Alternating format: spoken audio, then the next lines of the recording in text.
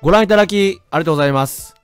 今回はコパデルレイ第3回戦マラガ対レアル・ソシエダのスタメン予想などについてお話ししたいと思います。試合はマラガのホームで行われまして、日付が変わり、明日1月8日月曜日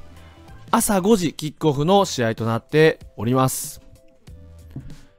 今回の対戦相手となるマラガなんですが、クラブ創設120年を迎える伝統のあるクラブでして、過去にはイスコやホアキンも在籍していたようです。ただ近年は財政難に悩まされておりまして、記憶に新しいのは1920シーズンに当時レスターシティからフリーで加入した岡崎慎司が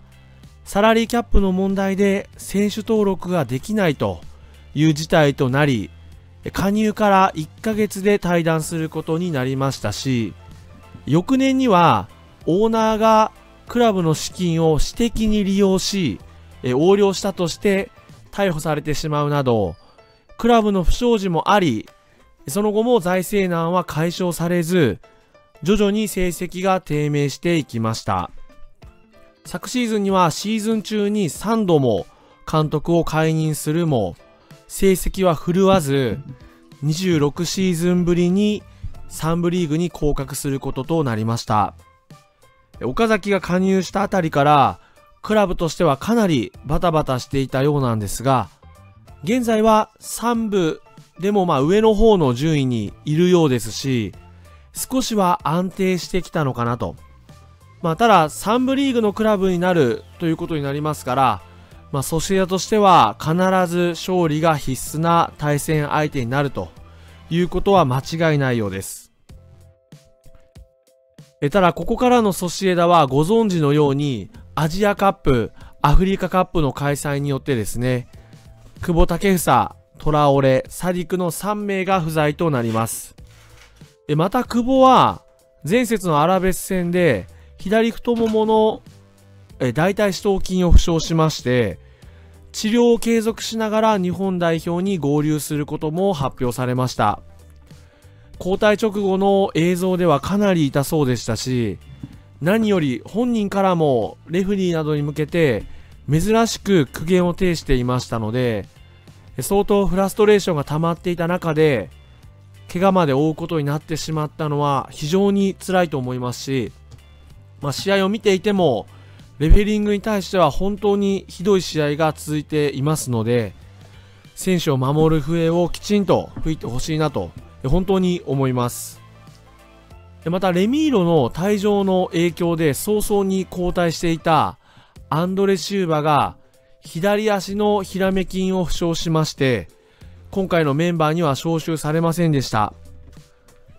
アンドレ・シーバももともと怪我をした状態でソシエダに加入しましたけれどもこれで加入してから3度目の負傷となりますので、えすごく心配ですし、まあ、となってくると、純粋なフォワードは、カルロス・フェルナンデスしか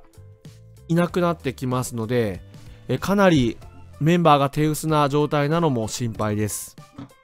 実際にはまバレネツィアが復帰しましたので、まあ、左にバレネツィア、真ん中にオヤルサバルを置けるとしてもですね、それにしても控えが手薄ですので、1月14日にアジアカップ初戦を迎える日本代表が順調に決勝まで進めば2月中旬まで戻ってこないわけですからなんとかクラブとしては崩壊することなく耐え続けてほしいなと願うばかりです。スタメン予想です色が分かりにくいんですけれどもホームのマラガは画面左側ソシダのようなカラーになっていますけれども、4231のシステムで予想されています。アウェイのソシエダは画面右側、黒いアイコンで表示されておりまして、いつもの433のシステムで予想されております。ゴールキーパーがマレーロ、右サイドバックがオドリオソラ、センターバックがルノルマンとパチェコ、左サイドバックがアイヘンムニョス、真ん中3枚が右にザハリャン、中盤にスビメンディ、左にメリーノ。前3枚が右にオヤルサバル、左にバレネツィア、真ん中にカルロス・ベルナンデスが予想されております。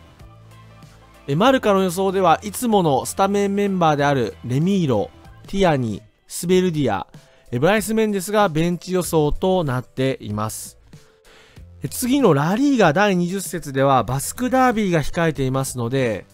ゴールキーパーのマレーロは実戦に慣れた方がいいと思いますし、個人的にはまあアリショーを右に置いて、オヤルサバルを少し休ませてもいいのかな、なんて思いつつ、サブメンバーを主体にすると、それはそれで結果が振るわない最近のソシエダですから、えどうなるのかなと思っています。えマラガは3部にいるとはいえ、3万人近く入るスタジアムを持っているようですので、アウェーの雰囲気を存分に受けると思いますけれども、えきちんと勝ち切ってベスト16へ進んでほしいなと、えー、まあ、ここでバスクダービーへの勢いをつけてほしいなと思っています。